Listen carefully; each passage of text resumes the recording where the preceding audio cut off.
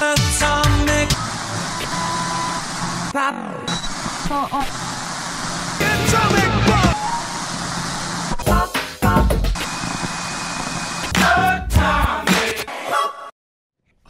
Good afternoon, ladies and gentlemen, and welcome to another episode of Atomic Pop featuring Fat Man and Little Boy. I am Stephen Korka. I'm Juan Farach. Juan, how was your weekend? How do you feel? I feel like shit. I see water. I see a Ricola. Yeah, man. Please, what are your symptoms? Uh, my throat hurt, coughing, con- like, what's that called? Congestion. Congestion. Okay. Yeah, runny nose, sneezing. Wow. I see the runny nose. The coughing. Yeah. No, this is water, fucker. Oh. The the worst thing is the coughing, because like you know you cough so much you bruise your ribs, and then it hurts to fucking cough. Yeah, oh, it's, it's that bad, huh? Yeah. It's that bad. Well, Being a smoker can't help. No, have you smoked this weekend? As far as I could. what does that mean? Well, I thought it was getting dangerous for a while, so I Uh, stopped. I couldn't breathe. Oh my right. god. Okay. All right. All right. Okay. We have we have eh, we have had Susie Fed here at the house. That she's wearing. She, it, it looks like glow in the dark alien overalls. Are they glow in the dark at Susie Fed? They they are glow in the dark in a black light. okay, that's cool. Anyways, um, listen, crazy stuff. You know, Justice League comes out in a little over a week. I, I, I really thought we could have done like something about Justice League, top 10 something about Justice League, but a bomb got dropped on us in uh, last week, and that is Brian Michael Bendis, arguably the the number one writer for Marvel Comics.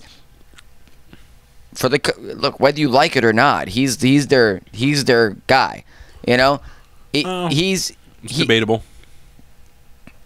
well, either way, he's leaving Marvel Comics, going to DC Comics on an exclusive contract. So he can't even do shit with Image, nothing. He is Yeah. he is DC's man exclusively. Yeah. So holy shit. First of all, let's just talk about Brian Michael Bendis. All right? He's been right uh, have you done your research on the guy other than what you already knew? No, only what I know. I'm going off what I know here.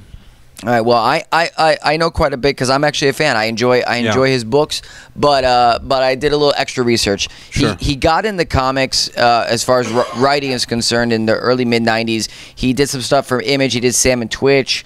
Uh, Uh-huh. he did a Spawn series. Um, and then in 2000, I guess his Sam and Twitch series was so successful.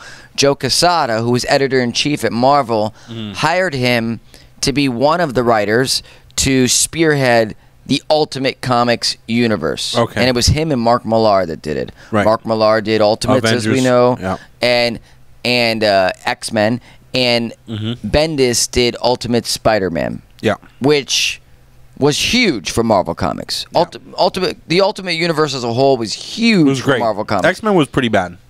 Ultimate X Men was great, dude. Are you kidding like me? it. Oh my, I thought it was great, but that's Mark Millar. We're not talking about that. Um, Ultimate Spider Man was amazing. It it it it. It, it, it brought us a modern version of the character. Mm-hmm. Uh, Bendis spearheaded it, and you know, It was brutal too. Yeah, it's crazy shit happened. He killed Gwen Stacy like Yeah. nasty style, With like- Carnage, With no? Carnage, Yeah. yeah, and then she came back as like a Carnage. Like Carnage entity. ate her. Yes, Like ate her. yes, Yeah. yeah.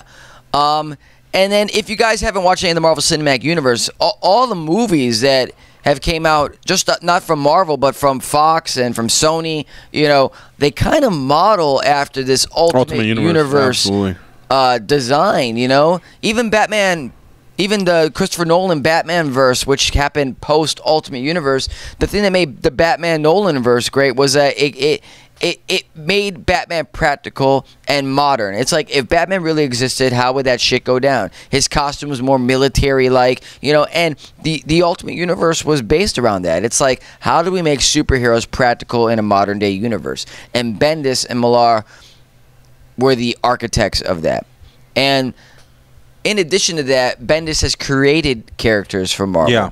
He created Miles Morales, Miles Morales is definitely his. uh, who is easily going to be forever with Marvel Comics. He's not going anywhere. You know, he's a huge hit among Miles fans. Morales has to be probably the last big uh, original character created by Marvel that's as big as he is, right? I think you know what. I, I guess you could say that, but I think Miles Morales is kind of a cheap shot in the terms of original. There's nothing really original about him other than who he is as a person. He's Spider-Man basically. He's got very similar powers. He's got a couple different ones. He's got that that that venom spike that that like like gets all people dizzy and shit like that. But essentially, it's it's it's still Spider-Man. It's not a new power set. Yeah, but like Silk, character. Silk wasn't as as popular as, as Silk- Miles Morales. Silk so- wasn't as popular. Gwen no. Stacy for a while, for a while. Um, yeah, but uh, uh, he all Spider Gwen. listen. Bendis also created Jessica Jones. Yes, he did. uh, who I'm sorry, she's got a TV show. That's huge. Yeah. You know, a successful one. You know, um, he kind of redefined the Defenders in that sense too. Mm-hmm. The Defenders originally was Doctor Strange. Um, I forget who else was in it at, uh, off the top of my head. Uh, but but um, oh, I think Enchantress was in the, the Hulk, something like that. Whatever. Anyways, Doctor Strange. Hulk. um, but it, Bendis really he invented Jessica Jones. He invented uh, Miles Morales. Um, he wrote House of M, yeah. which was amazing, really great. The No More Mutants thing, which changed mutants in the course of the Marvel universe for easily 10 years. Like mutants were not being born. It was a huge deal because of that. He did Age of Ultron. I'm not talking about the movie. I'm talking about the comic, which was amazing also. A nice time travel alternate reality story based around the character Ultron. He did Avengers Disassemble. He killed Hawkeye and brought him back to life and No. eventually.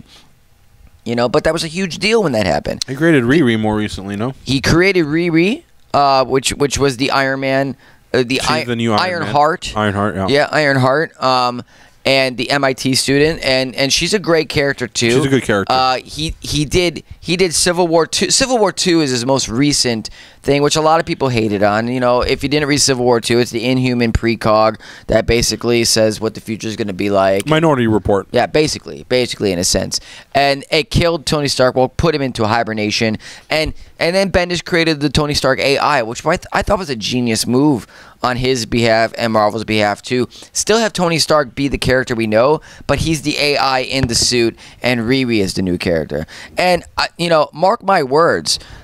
Robert Downey Jr. is going to be in the Marvel Cinematic Universe for the rest of his life. He may not be the Tony Stark we know in physical form, but he will become the AI that we see in the Riri Williams Iron Man. and his voice, he'll he will be the Jarvis in the Marvel Cinematic Universe. Sure. As, as long as he wants to. Right. Because obviously he's going to age and stuff like that. And and that all goes back to Bendis. Yeah. He did Secret Invasion, okay, which was the Skrull takeover. Skrull takeover. He made Spider Woman cool again Yeah. Okay, and relevant. Um, he did Dark Reign Mm-hmm. and the Dark Avengers, which was an amazing run. Into Siege, which we talked about last week Yeah. from Thor. He he wrote Siege. Um, I, I mean, holy, am I missing something here? No, he's he's been pretty um much involved in every major event for for Marvel in Not- the past twenty years. Absolutely, not to mention his Icon line, which has powers on it. United Yeah. United States of Murder Inc. Yeah, he Um, also um you know he was very involved with the Marvel Cinematic Uni- Universe when it started. as a consultant. Absolutely. Yeah, as a consultant, he they he's the one. He was part of that whole board, the comic board that was working with Feige, and uh, I. Feige, believe Feige, I believe that's part of the reason that he left Marvel. Why? Um, Kevin Feige decided basically they cut the board out. They said, Bendis, you are no longer going to have any input whatsoever They, I into totally the Marvel about Cinematic did, yeah. Universe. Yeah. And by I- and and I think that's important to note because in in the release, the statement from DC, they made sure to um, point out that he was going to be involved in all aspects of the DC universe. Right, kind of pointing out that he would probably be also working with Geoff Johns in the DC cinematic universe. So the fact that DC went an extra effort to point that out must mean that it really must have bothered Bendis at Marvel. Well, let- let's talk about something here too. Like, uh, it, it's funny. Like, you brought up Geoff Johns. If you guys don't know who Geoff Johns is, I've always explained whenever I'm talking to uh, people coming into the shop, I've always explained that Geoff Johns is to DC what Bendis is to Marvel. You know, Bendis is, is, is not as a good of a writer. Um, the thing with Bendis is Bendis is Marvel's most consistent writer. Look, what- he's not their best writer, but his stuff is always good and it's always consistent. You know what? I think that's up to personal preference, personal opinion, all that stuff like that. I mean, you can't say that. I, what, what I tell people this, I say you read a Geoff Johns book, you read a Michael Bendis book. You're gonna get a good story regardless. It's consistent. It's ne- it's not gonna blow your mind. That's what I just said. Uh, Yes, I but, but just said that. I know, but you said that about Bendis. I think the same applies to Geoff Johns. You know, Je- they, they they they both have done things that have that have been mind blowing, but they both have been stuff that's been not as mind blowing. But either way, it's never bad. Yeah, yeah, it's consistent. You know, it, it- they are both consistent writers, and you know if you pick up a Geoff Johns or a Brian Bendis book, it's going to be good. You know, I, I also uh, Bendis also did Guardians of the Galaxy, brought a- Angela Yeah, yeah, in, into the universe. Um, he- I mean, he didn't create the Guardians of the Galaxy people, but but he, he did reboot the, the the series around the time that part one of the movie came out. So Bendis has been huge for Marvel. What does this mean for Marvel moving forward? What do you what do you think? Well, number one, you got to understand that that Bendis was also well liked. Um, there's definitely within Marvel a lot of Bendis supporters. Yeah. and there's a lot of contracts coming up, and I don't think we're going to see just how impactful the Bendis signing was until a lot of these other artists and writers from Marvel come up for contract negotiations. Um, they're estimating six or seven other people might just leave just because Bendis isn't there anymore. Wow. I mean, I think it, it's no doubt a huge blow to Marvel Comics. Not to mention, Marvel Comics has been in a really nasty slump. And and also, I, I think with Bendis thing, so I think them cutting him out of the movies was was terrible idea, Yeah. right? Um, because it's like a demotion. Yeah, Yeah. totally. Um, then the whole backlash against Marvel, um, with the whole, uh, oh my god, dude, I'm I'm so fucking I'm fucked, dude. I, I don't even know the diversity thing, Yes. right? That obviously affected, uh, allegedly affected Bendis in a personal way. That he didn't like how Marvel went and handled it because, let's you know, Bendis writes minority characters. Not not solely, but not yeah. solely, but Yeah, like, and he likes these characters. He actually loves Riri, um, and he believes that Marvel, in trying to undo what they did, is going about it the complete wrong way, completely the wrong way. Yeah. Um, they they're not consulting him. Like I, I I just think they're not giving him. They're not consulting him how they should. Like the power that he should have at Marvel is not giving it to him. He lost power over the movies. He's lost. You know, he, he doesn't get a say in the Marvel universe anymore. He doesn't get a say in the future of Marvel when it comes to their diversity Uh, and how they're going to react to all that. Like they're stripping so many things away from him. Understood, but what what does this mean for Marvel moving forward? That's my question. Well, we. I mean, you, you said you said contract negotiations coming up, but what else? I mean, like here's what I heard. I heard I heard Marvel's really going to go after some indie writers, some some Marvel's already going after indie writers, so I think Marvel signed on Donny Cates to do um, Doctor Strange. which tell people who who don't know who that is. Like, Donny Cates does um, a bunch of indie comics. He does some for Image. He does Rednecks. He did God Country. Both are really, really good. Redneck is hugely Yeah, succe- successful. really successful. on, Um, on an indie level. yeah. yeah.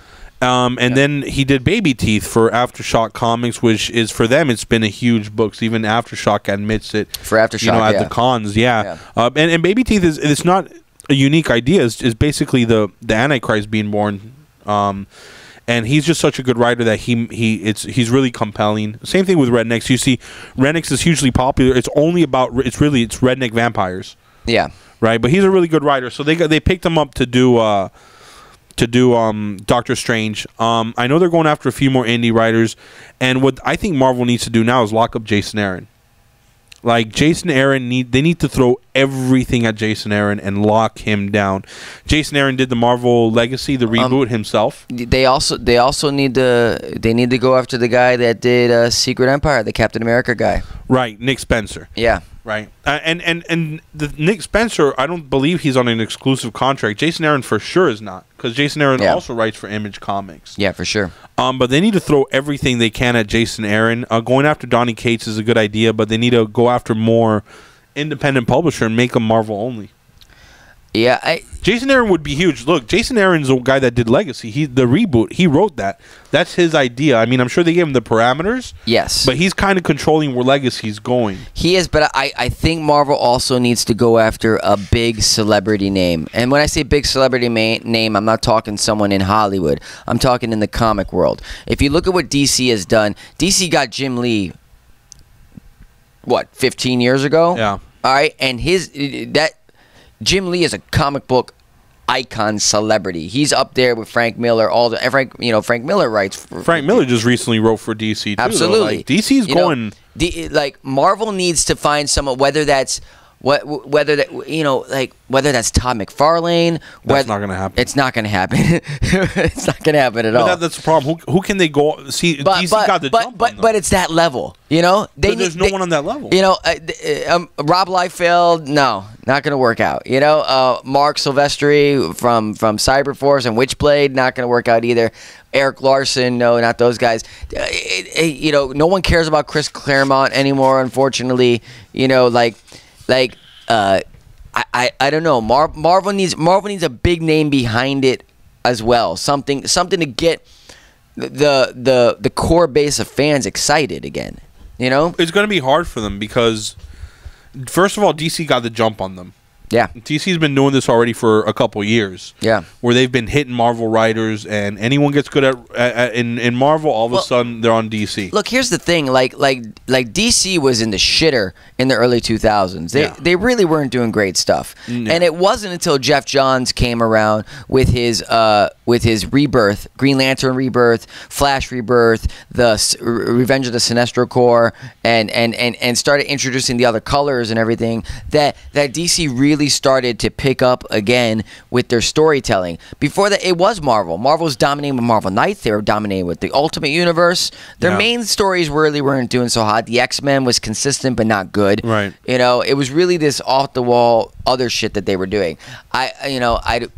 I don't know. Marvel really needs to get their shit together because even so, like they got Avengers 675 coming out, Yeah. and it introduces a new character who looks like the Sentry and is and, Captain Marvel, blonde female Captain Mar- Marvel. So it's another female character that they, they created that looks like Sentry, and that's like the big deal But the thing in, is, in Mar- the next Mar- Avengers thing. that's what they're gonna- promoting. You know, you, you don't think that Disney has has had an effect on Marvel? Like, the problem is that Marvel now needs to bend, and they're notorious for not doing that. See, DC is going after everything they could go after. So what you're gonna have to do now is, is hit the uh, the indie market, right?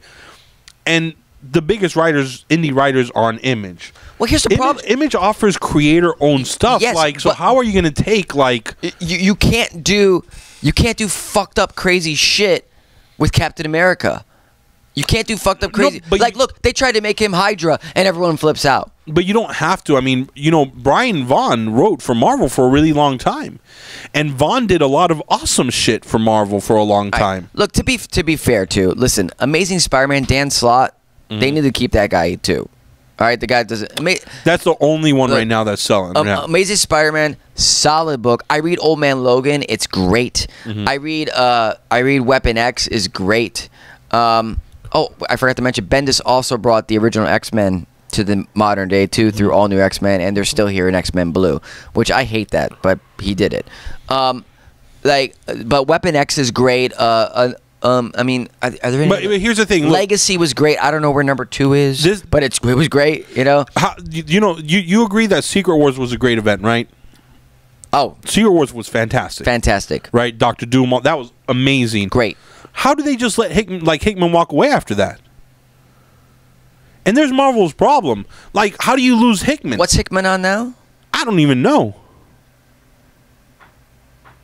I don't know either. Hickman, he writes. I know that he writes for for Image. He writes for the Indies. Yeah, yeah, yeah. But they completely lost Hickman. Hickman walked away from Marvel. Secret Wars was the last. You know what? Though, done. let's let's be fair. Hickman told the story he wanted to tell. He started writing Fantastic Four, which Yeah. which led into New Avengers His and the FF Illuminati. Okay, and and basically his whole story was about the incursions. Mm-hmm. That was his thing, and it ended in Secret Wars. He told his story. Right. Mm-hmm. Maybe he was done.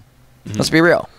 You know. but the, the, what we're seeing from the exodus of writers and artists from Marvel then we can't. We got to assume that it's because something that Marvel's doing incorrectly. Maybe. I mean, listen. it comes I- to the like- again, like I said, I don't want to be unfair to Marvel. Marvel's still coming up with some great stuff right now. Still read the stuff. I mean, it's it's it's not bad. It's just it's disturbing to see to see such classic staples of the company disappearing like this, and also like you know a downslope on sales. You know that that you and I see clearly since we are we're, we're It's, here in the comic and, and this is where DC is trying to absolutely kill Marvel. Is um, Rebirth has been a huge success for huge DC. success and the metal story. Not only is- has is- Rebirth has been a huge success, Rebirth has been well written. All of it, like every single Rebirth comic has been good. I don't read all of them, but in, in the beginning, from the beginning, the- Whoa, you every- don't think? I don't I'm- think Okay, let, let me not say all of them. No, But for the most part, you have like maybe five weak titles. All the Batman titles are good. all the Batman titles, All the Superman good. titles are good. all the Superman titles, right? Cyborg was great. Cyber Wonder Woman is great. Right. The Green Lantern books Yeah, are great. you Flash is great. Some of the minor ones that aren't as good I as mean, they could be. Batgirl. Batgirl was the Japan one was that was terrible. Uh, she goes to Japan and whatever, uh, and the uh, Birds of Prey. Okay, but a lot of the Rebirth stuff has been good. Harley Metal Quinn. has been ha, ha- that's been a hit. Metal has yeah. Harley Quinn was not that great. Harley Quinn has taken a huge dip. Um, it has Huge Has. dip. So many people were on it, and now it's just. I thought Green Lanterns is good. Green Lantern was good. Yeah. Yeah. Yeah. So, but okay, I, for the but, most- but I, so like so. But here's a point that I'm trying to make. So Yeah. DC right now is killing it. Yeah. Right. Metal's been amazing. yes, Right. So DC is killing it. They don't need to go out and get Bendis. they don't. This was just to like a win more, right? This was Like this they, was they're this- already leading by like five touchdowns, and they're going for another touchdown instead of the extra point. I, yeah. Like, It's very interesting how this is all this is all panning out. It, it's weird in the comic verse. what are they going to put him on? I, I, well, I, that, that was my next question. Okay, so Bendis, we, we, we, we, we, gave our opinion of what this means for Marvel Comics. What does this mean for DC Comics? It's it's a huge deal. D- this is a win more for DC. It's a, uh, here's the deal. So you got metal happening right now. Um, Snyder's writing that. Yeah. Okay. Um, and and uh, post metal, Snyder has his Batman and the Signal book. yeah. which is supposed to take over where All Star Batman stops. And uh, Snyder's not going anywhere. DC's got him locked in. Geoff Johns is do- is doing the Button storyline into Doomsday Clock, which Yeah. comes out next week. I'm super excited. By the way, yeah, it's, it's gonna be fucking great. Which Please subscribe. which to basically the book, it basically puts Superman against Doctor Manhattan. Mm-hmm. Okay, and God knows what happens after that. Okay, um, DC has Dan Jurgens on Action Comics, and Dan Right. Jurgens is Superman. Yeah. Like him or not, he is Superman. He's been writing the book for decades. You know, Mm-hmm. uh, a- and so, you know. What's Bendis? Whatever Bendis' first thing is, it's going to be huge. So the question is: Is are they going to give him this huge thing like Doomsday Clock, or are they going to put him on a title? No, I think they're going to put him on a minor. Minor. I don't. I don't think they're going to. They know what to do with him right now. See, I see. I'm gonna make. I'm gonna make a prediction here. He's going on Batman. He's been re- on record no. saying that he wants to do a Batman. I think he's either gonna go in at Batman 800, or Detective 900, or Action 1000. That's bold, but I, I can't see them taking that Batman away from Snyder. Batman doesn't write. Uh, Snyder doesn't write Batman right now. I know, but if if they were going to give it to someone, it has to be Snyder. Then do you think The resurgence of Batman do, do you Snyder. think they will take Ben? Do you think they will? They will put Bendis on Action with number 1000 and take Jurgens off, Probably. or none of the above? Will they give him a story arc like Doomsday Clock or Blackest You, you, Night? know, you know where Bendis? or- you know where Bendis would be good? Where? Flash.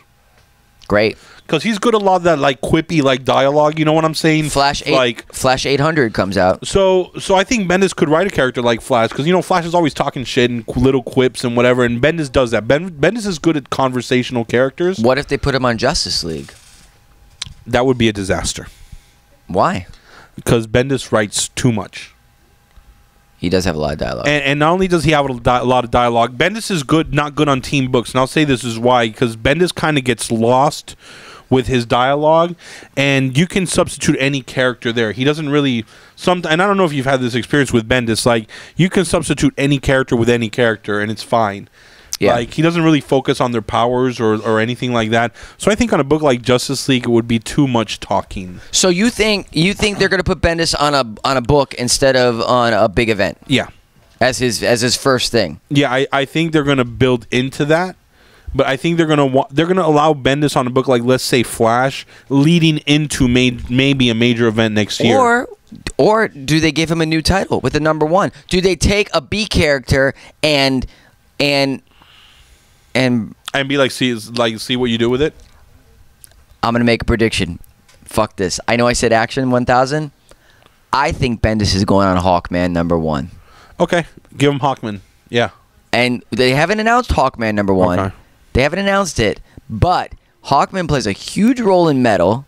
He has one of those foil one shots coming out, The Return of Hawkman, and he's a Justice League character. He's been around for decades, and I think Bendis is gonna do is gonna relaunch Hawkman the same way that Geoff Johns relaunched Aqu- Aquaman.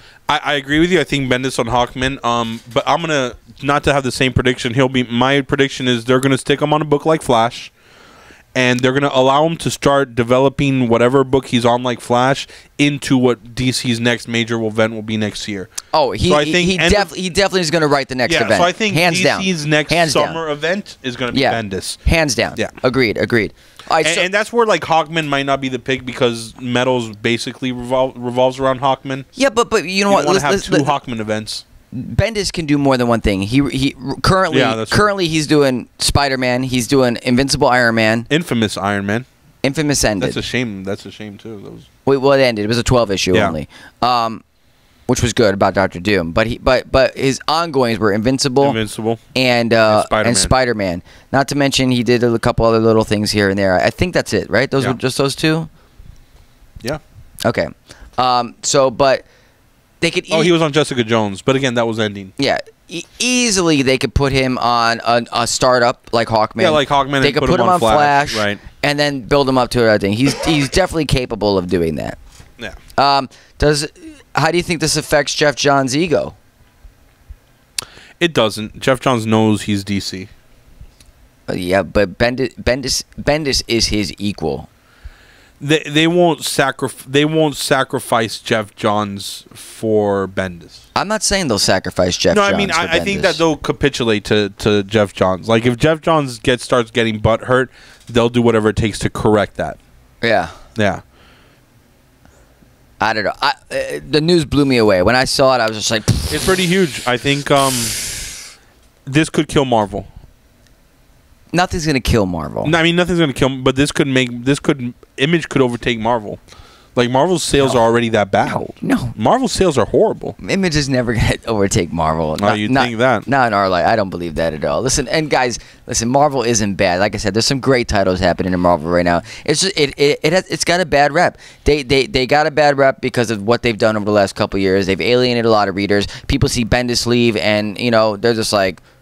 it- It's like, oh man, I, I used to love to go to this restaurant, but then some people got some food If you own poisoning. Marvel stock, you're shaking. No way, because if you own Marvel stock, you you, you make money off the movies.